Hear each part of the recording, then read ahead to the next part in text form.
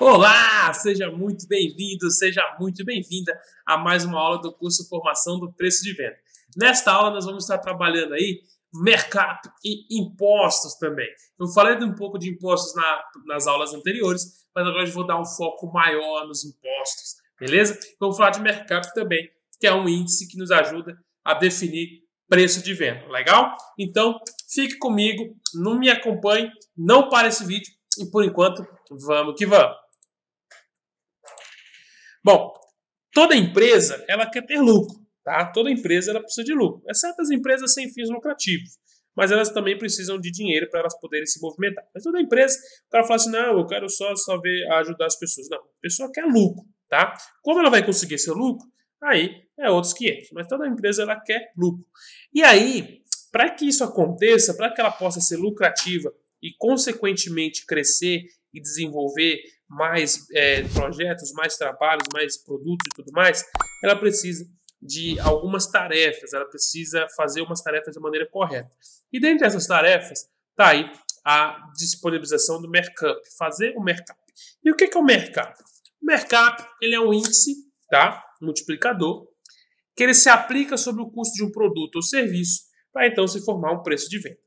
Nesta aula, nós vamos tratar a parte teórica do mercado e a parte teórica de impostos. Nós vamos ter a aula onde nós vamos calcular o mercado de maneira assertiva, como calcular, como definir esse índice e como utilizar ele para definir o preço de venda.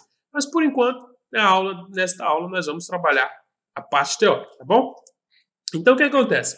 Ele é o valor cobrado ao longo do custo total da entrega de um produto ou serviço para que você possa atingir aí um lucro desejado.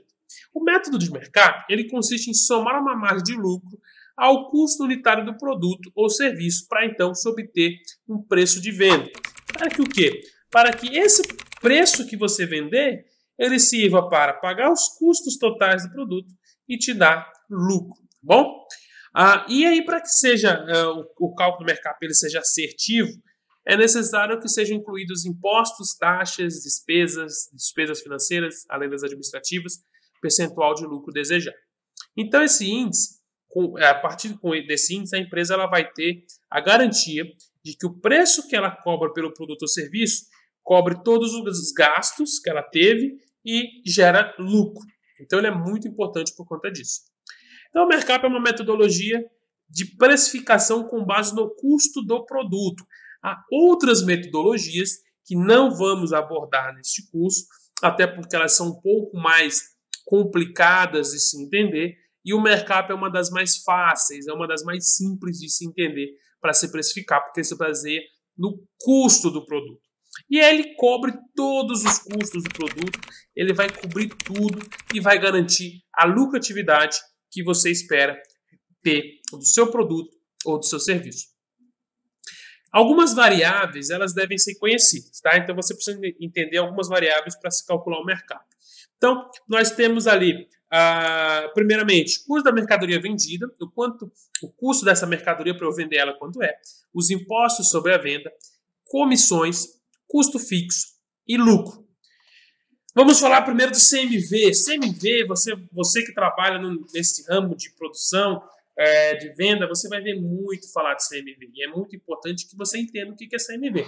CMV é o custo da mercadoria vendida, tá? É o custo que é, eu tenho para eu poder vender essa mercadoria. Então, por exemplo, se eu só revendo mercadoria, eu comprei do meu fornecedor, do fabricante, eu tenho que pagar frete, eu pago imposto, eu pago seguro sobre essa empresa, eu pago toda a despesa que eu pagar. Até ela chegar, até eu disponibilizar ela na minha prateleira, eu tenho um custo. E é esse custo da mercadoria vendida que eu tenho que saber. Muitas pessoas e cometem o erro simplesmente pegar o preço da nota fiscal. O preço de nota fiscal é o custo da aquisição, foi o quanto você pagou. Ele não é o custo da mercadoria vendida. Ele é simplesmente o custo de aquisição. E essas pessoas elas se baseiam o preço de venda neste custo de aquisição. E o que, que acontece? Elas acabam perdendo dinheiro, porque elas esquecem que pagaram impostos, elas esquecem que tiveram frete, elas esquecem que tiveram outros custos ligados a isso. E aí acaba perdendo dinheiro. Então, por isso você Olá, tem que prestar... peço desculpas por interromper sua aula por um breve momento, mas tenho algo importante e vantajoso para compartilhar com você. Se você está gostando desta aula, tenho uma ótima notícia. Agora você pode levar sua experiência de aprendizado para o próximo nível fazendo sua matrícula em nosso site. Ao se matricular, você terá acesso exclusivo a uma série de benefícios. Primeiro, você pode baixar a apostila completa do curso em PDF, perfeita para acompanhar as aulas e revisar o conteúdo sempre que precisar. Além disso, ao concluir o curso, você terá a oportunidade de adquirir um certificado de conclusão, um grande passo para o seu desenvolvimento profissional e acadêmico. E sabe o que mais? Ao assistir às aulas diretamente em nosso site, você terá uma experiência de aprendizado sem interrupções ou propagandas. Isso significa mais foco e eficiência no seu estudo. Então, não perca essa chance. Clique no link na descrição deste vídeo ou visite nosso site para se matricular agora mesmo. É rápido, fácil e vai transformar a maneira como você aprende. Agora vamos voltar à aula. Obrigado por sua atenção e nos vemos no site. Então, por isso você tem que prestar atenção e ver se realmente é o custo da mercadoria vendida que você está utilizando. Então, essa é a fórmula.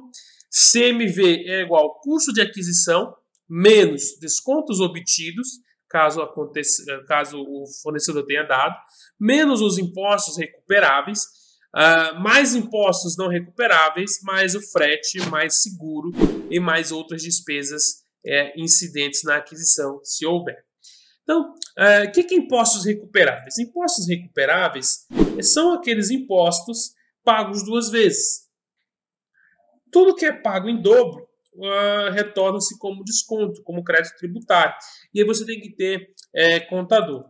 Às vezes, você, é uma empresa, se você é um empresário pequeno, você está com um negocinho começando, você não vai precisar ficar muito atento a isso. Mas conforme você cresce, eu sei que você vai crescer nas suas vendas, porque você está fazendo um ótimo curso, uh, você vai precisar de um contador para ele poder te passar esses detalhes. Por quê? Funciona assim.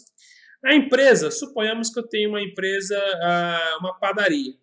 Aí eu vou lá e compro trigo de uma de um, de um outro de um outro de um fornecedor. Esse fornecedor ele vai incidir um ISMS. Ele vai cobrar, ele vai colocar em cima desse produto o ICMS. Nisso eu paguei, porque ele, ele, ele repassa para mim ICMS para eu pagar. Show de bola. Quando, esse produto, quando o farinha de trigo chega na minha empresa e eu produzo o meu pão, as minhas coisas, novamente eu tenho que pagar o ICMS. Eu já recolhi e tenho que pagar novamente. Então, uh, o governo ele é, passa um crédito aonde eu tenho esse valor para abater em cima dos impostos. Uh, e aí eu tenho impostos não recuperáveis, que são os impostos que eu não tenho, que é PIS, COFINS, essas coisas eu não posso recuperar eles. Então, mesmo eu pagando em dobro, eu vou ter pago em dobro. Uh, aí eu tenho uh, impostos sobre a venda, uh, eu tenho que ter noção do regime tributário da empresa. Então, se você tem empresa, é, no caso, se você não tem empresa ainda, é muito importante que você entenda e que às vezes procure o contador, para que você possa ter uma noção disso, uma orientação mais é, aprofundada sobre isso, que não vai ser o caso aqui. Aqui é simplesmente uma coisa para você prestar atenção e ter esse detalhe em mente. Então, é, eu preciso atentar ao regime tributário da empresa, que vai exercer influência direta sobre a incidência do ICMS.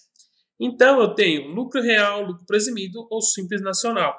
Se você tem um MEI, tá? O seu regime tributário é o simples nacional. E se você for, fora isso, você tem outro tipo de empresa, você tem que ver aí qual é o seu regime tributário para ver aí a questão do percentual de imposto que você está pagando sobre a mercadoria vendida, sobre a produção de produtos. Então, é muito importante que você veja isso, porque isso influencia lá na definição do preço de venda, tá bom? Ah, e aí nós temos outros custos. No caso, comissões. Né? O que é comissão? É o percentual sobre a venda pago aos profissionais de venda. Isso é, é interessante que eu tenha em mente. Por quê? Porque o meu vendedor, a maioria das empresas hoje, elas trabalham com isso. O vendedor ele ganha um salário fixo, né?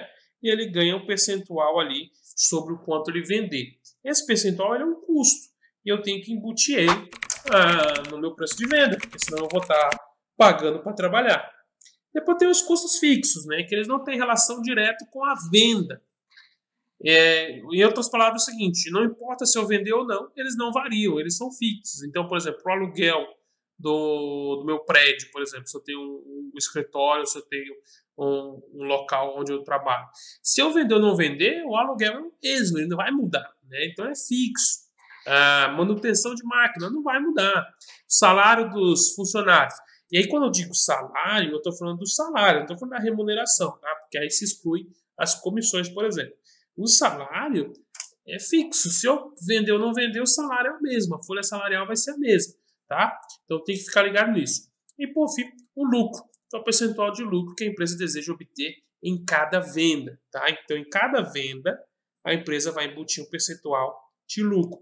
E aí, isso tem que estar de olho. Eu vou embutir um percentual de lucro mais alto, um percentual de lucro mais baixo, eu vou vender o produto mais barato, ganhando menos, mas eu vender maiores quantidades, eu vou querer ganhar mais, vender poucos produtos, mas ganhar um pouco mais em cima de cada um. Então, eu tenho esses critérios aí que eu tenho que. Então, espero que você tenha entendido um pouco sobre Mercap e impostos. É uma aula mais curta, uma aula mais teórica, porque nós vamos estar calculando e falando mais sobre eles mais para frente. Espero que você tenha gostado dessa aula. Fique comigo, pronto para a próxima e por enquanto, vamos que vamos! E aí, tudo bem? Estou passando apenas para deixar um recado bem rápido para você que acabou de ver essa aula e que gostaria de assistir a todas as aulas desse curso. É bem fácil, basta você clicar no link que está na descrição deste vídeo ou acessar www.novacursos.com.br. Fazendo sua matrícula em nosso site, você terá acesso a todas as aulas desse curso e mais centenas de outros cursos, além de poder fazer avaliação, e caso você queira, poderá estar adquirindo o certificado com um valor bem acessível. Esse foi o recado que eu queria dar, aguardo sua matrícula. Até breve!